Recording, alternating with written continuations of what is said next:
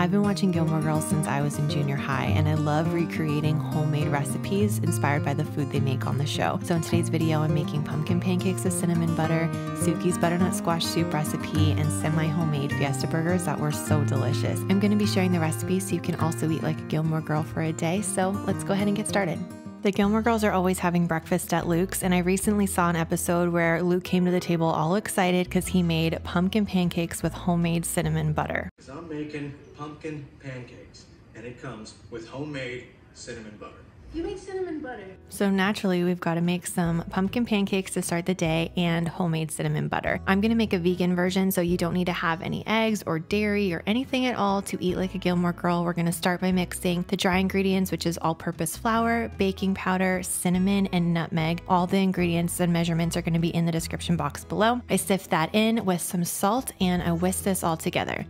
For the wet ingredients, I'm gonna mix together some pumpkin puree and I'm gonna add that to a mixing bowl with some plant milk. And I like to use one that has a bit of protein in it, like a soy milk or a pea milk, because it helps to give the pancakes a nice structure and some fluffiness. Then I'm gonna add vanilla, maple, and melted vegan butter and mix the wet ingredients in with the dry ingredients. Then I'm gonna set a pan to medium heat. You wanna make sure that you don't have the heat too high, but you do wanna make sure that the pan is warm before you add the pancake batter. That's actually pretty important. And you'll know that they're ready to flip when you see lots of bubbles on the surface and the edges kind of set up a little bit. They kind of dry out a little. And this is an indicator that the pancakes are cooking all the way through, that they are gonna be golden brown on the opposite side and fluffy in the center. So that's why medium heat is important. If the heat is too high, the outside will burn before the inside really has time time to cook. For the cinnamon butter, we're gonna go ahead and mix some softened vegan butter with salt, cinnamon, and maple, and I just use a hand mixer to make this really light and fluffy. When I heard that Luke was putting cinnamon butter on already cinnamony pumpkin pancakes, I thought it sounded good, but also a little unnecessary. No, the cinnamon maple butter on top of these pancakes makes them especially delicious. I'm gonna be quiet now for the syrup pour because this is amazing. Nothing goes better with a stack of fluffy pumpkin pancakes than a hot cup of coffee. So, of course, I got my coffee in my Luke's mug. I actually topped my pancakes with a little bit of cinnamon butter, a little bit of almond butter too, just to make it a little more hearty and filling, and some maple syrup. And this was so good cinnamony, gingery, nutmeggy, heaven. So I'm gonna be working on my blog for most of the day today. My blog is called nikkivegan.com and that's where a lot of my recipes are. And so today I'm gonna be shooting two different recipe photos and I like to do that earlier in the day while I still have some good light, although it's pretty dark today. It's been raining a lot in New Jersey for the last like three days. It's been pretty much just rain the whole time. So it has been dark, but I actually think that overcast lighting as long as it's bright enough, can be really pretty for food photography. So I'm gonna do that for the beginning part of the day. And then after that, in the afternoon, I'm gonna be putting the blog post together, writing the recipes, putting all the tags and the links and all that stuff together and editing the photos. So that's gonna be most of what I do today, but I am gonna be in comfy clothes for the remainder of the day. So I have no intentions of changing. I did get myself ready though, and I was putting on my deodorant this morning and I wanted to show you guys this scent. This is the cucumber and mint scent, and this is the very first native deodorant scent that I ever used. It was actually given to me as a gift from a friend who was telling me how good this deodorant was. She was like, I'm just gonna give it to you so that you can try it. And this was the scent. So as soon as I smell this, it just takes me right back. It's also a very nostalgic scent because it reminds me of a body splash that I used to love when I was a kid. They're offering my viewers 33% off if you use my link and code. Also, this lilac and white tea scent smells so good. It's floral and very clean and fresh. I actually have the deodorant and the body wash both in this scent and I love pairing them together. So if I use that in the shower, I will use this after the shower.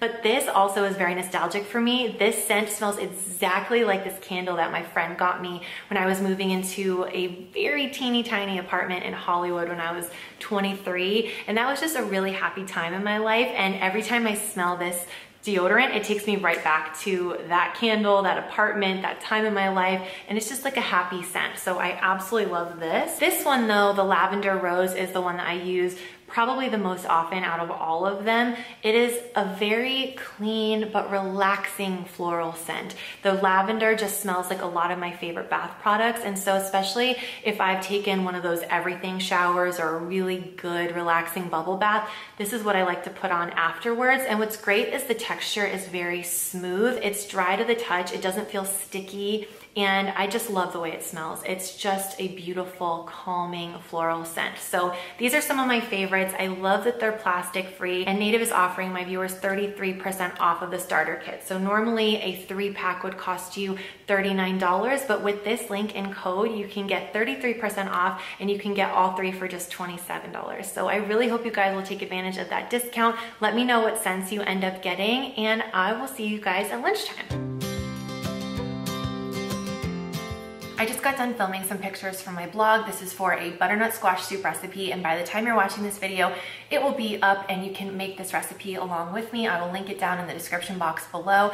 I made this butternut squash soup because of the Bracebridge dinner. And in my research for this video, I realized that I've been calling it the Gracebridge dinner in my mind.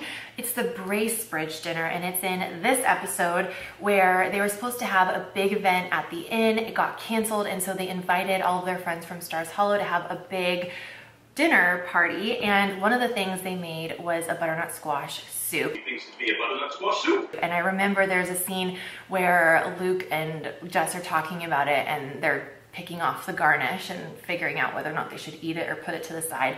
And they didn't seem so happy about the butternut squash soup, but I love butternut squash soup, especially making it from scratch. It's pretty easy to do. It's kind of a sheet pan recipe actually, so you can pop everything in the oven and then blend it with some broth and you've got a really delicious homemade soup. I actually made it yesterday, so I'll go ahead and show you that recipe and then I will talk about how to serve it because there's one thing that's actually pretty important. The star of the show is obviously butternut squash, and I always like to look for one that is a little bit more narrow in the center like this. I find that it's so much easier to cut and get your knife through because you can just go right through the center of that part and it's not as big as some of the other uh, sizes that you can also find at the market. So that's my preference just to keep things easy. I'm gonna cut each squash into about eight wedges. You want them to be about the same size. And to remove the seeds, I just kind of anchor the squash in the palm of my hand and then I use a spoon to scrape out the seeds and the pulp like this. I'm gonna repeat the process with the remaining squash and then I'm gonna put all of these butternut squash wedges on a baking tray and drizzle a little olive oil, maple syrup, and just some salt. Roasting the squash is going to really bring out the flavor, and it's one of the things that makes this soup recipe taste like it's just been simmering on the stove for a long time. After about 40 minutes, I'm gonna go ahead and add another tray to the oven that has some onions, apples, and garlic. I just do the whole clove of garlic. I don't even peel it. I just put it on the pan, pop that in the oven, and it's gonna caramelize and become really flavorful. And when all of your veggies are roasted, you're just going to peel the squash and add the squash, apples, onions, and roasted garlic to a blender along with some veggie broth. I actually like to use this vegan, not chicken broth. It's really, really flavorful and it's my go go to for soups and also gravies and everything. I love it. Finally, we're gonna add some spices. We've got nutmeg, ginger, ground sage, paprika, and salt and pepper. This is going to make this soup taste so good. And then one of the secrets is just two teaspoons. You don't need a lot, but just two teaspoons of olive oil. That is going to really emulsify while the veggies are blending with the broth and it makes the silkiest texture. Then all that's left to do is heat it up in a pan. This helps to bring the spices to life and the result is an intensely flavorful butternut squash soup that is silky smooth, perfect for the fall, and I think Sookie would be proud of this. So here's the part that's pretty important. It's actually finishing it with lemon. You don't wanna put lemon in while you're actually cooking it. You wanna put it into the bowl and squeeze lemon on top as the finishing touch. It literally changes everything. It brightens all the spices. It sharpens, obviously, because it's got some acidity, it kind of sharpens and brightens the flavor. And I think it's a completely different soup when you finish it with a little bit of lemon. I don't recommend putting the lemon in the actual soup while you're cooking it because it will kind of cook out and it actually changes the flavor a little bit. It loses that sharp, bright, fresh flavor and it becomes more of a background sort of vinegary acidity. It's much better when you serve it just fresh right before you eat it and you kind of stir it in at the last minute. So I just got done taking some pictures for the blog. So I just microwaved this right now and I'm going to go ahead now and finish it with a good squeeze of lemon. It changes everything. It is so good. It doesn't seem like butternut squash and lemon go together because it's like a roasted soup and it's fall and you've got the sage and you've got, you know, like the warming spices like nutmeg but actually the lemon just kind of freshens it and makes it a little bit different, I think, especially because we're roasting the vegetables. We've got caramelized apples and onions and roasted garlic. All of that just really benefits from a little bit of zing, I think. So if you make this recipe, don't skip the lemon. I really think you guys will love it. And I don't know, I feel like Jess and Luke would probably approve of this one. Maybe. Oh, by the way, comment below and let me know if you're team Dean, Jess, or Logan. One of the things I love about Gilmore Girls and specifically about Lorelai is that if something could be made more fun, it's gonna be made more fun. If something could be over the top, extra, next level, she's gonna do that every single time. And they have some pretty epic TV snacks when they're watching TV. If you look at the coffee table and basically every single episode, there's always like a spread of really awesome snack options. And popcorn is almost always on the table. So normally I would have popcorn and like a crisp, very, very cold sparkling water if I was gonna watch TV and I wanted to have a, a, snack with it. That pairing in and of itself is always great. But because it's a Gilmore Girls day, I'm gonna try to up the ante a little bit and make it even more special by making a bit of a snack mix. And my favorite popcorn snack mixes are usually popcorn as the base, then add some pretzels for extra crunch and saltiness and just a different texture. And then I love adding some kind of seasoned roasted nuts. Like these cashews from Karma are so good. They're coconut, and normally I'm not a coconut person really, but these are so good. They've got like a um, kind of a cookie quality to them, and they're really good on their own, but they're really good in a snack mix with like some chocolate chips and crispy, salty things. It's just really, really tasty. If you're more of a savory person though, this one is also really good. It's like a rosemary sea salt also good on its own, but very, very good in a popcorn snack mix. And I do both of those all the time. I don't have any of that stuff today. So what I do have is my microwave popcorn and I have raw cashews. I do have a recipe for chili lime cashews on my blog. I'll link that in the description box below. So I think I'm gonna do something like that, maybe like a maple cayenne or something. Get those really nice and kind of glazed and crispy crunchy and then toss that together with the popcorn and make my own little snack mix using what I have. I feel like Lorelai would approve of that. So I'm gonna do that and show you how I make it.